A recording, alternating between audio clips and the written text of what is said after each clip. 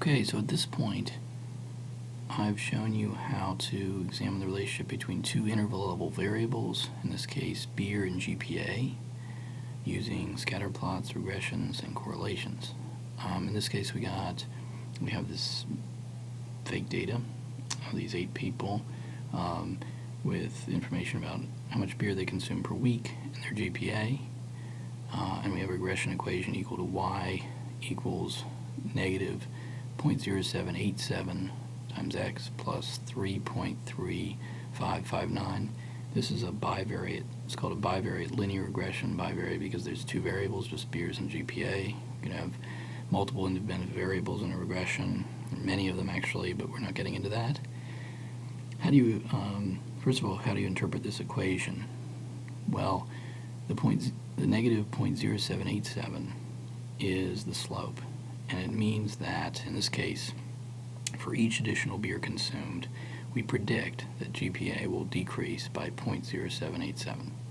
The 3.3559 is the y-intercept, and the y-intercept is equal to the value predicted for y.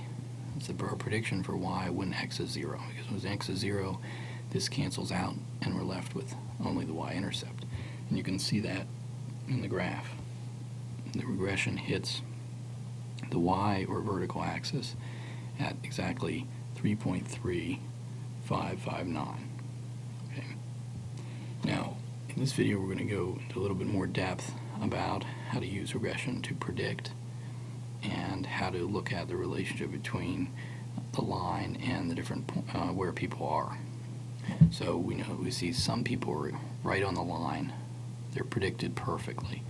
Their GPA is predicted perfectly by the number of beers they drink. Other people are quite far off the line. So who are these people? Well, this this um, tri um, diamond right here affects somebody who drinks two beers per week and has a GPA between 3 and 3.5. Where would that person be? Looks like that's Amy.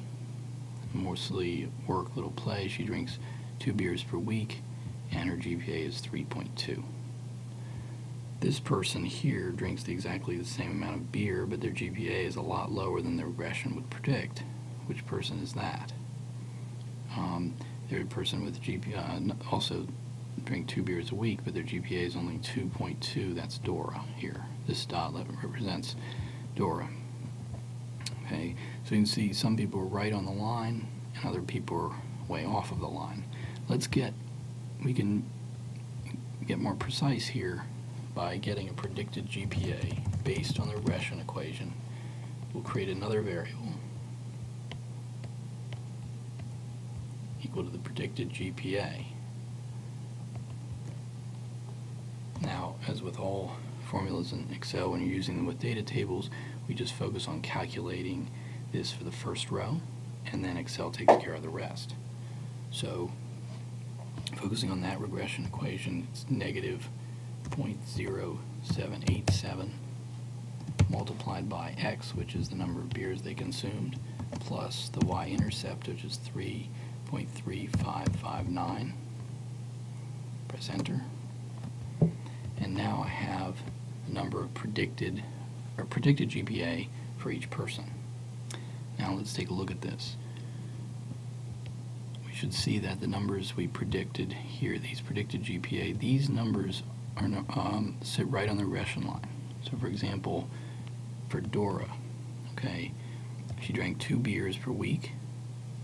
Because she drank two beers per week, we predict that her GPA should be roughly 3.2, which is right on the regression line right there. Her actual GPA is only 2.2, so she's down here. Um, take a look at Carl. He has 12, drinks 12 beers per week and he has a terrible GPA of 1.8. This is Carl right here. The, the regression actually predicts somewhat better GPA, quite a bit better GPA for Carl than he actually has. His GPA predicted is up here on the regression line again. His actual GPA is lower than what we would predict. Okay, we'll go down here. What about George? George drinks 10 beers per week and his GPA is 3.4. He's up here. He actually has, because he, he does well in school despite uh, drinking a fair amount, his actual GPA is quite a bit higher than what we would predict. We'd predict his GPA to be down here, right here. Anybody who drinks 10 beers a week, their GPA would be predicted to be 2.5689, but his actual GPA is quite a bit higher. Now, if we think about the difference between what we predict and what somebody's actual GPA is, we can formalize this by calculating what's called a residual and create a new variable for that. So the residual is equal to the person's actual GPA minus their predicted GPA. And it gives you a sense of how far away they are from the line. So in some cases, like Amy, remember Amy uh, drank two beers a week and her GPA was 3.2 and her prediction uh, based on the regression was just about 3.2 so she's right on the line. And there are other people like George for example um, who are way off the line okay the residual gives us a precise sense of how far off the line and in which direction okay I'm going to calculate residual which is again based on actual value of their GPA minus what we predict.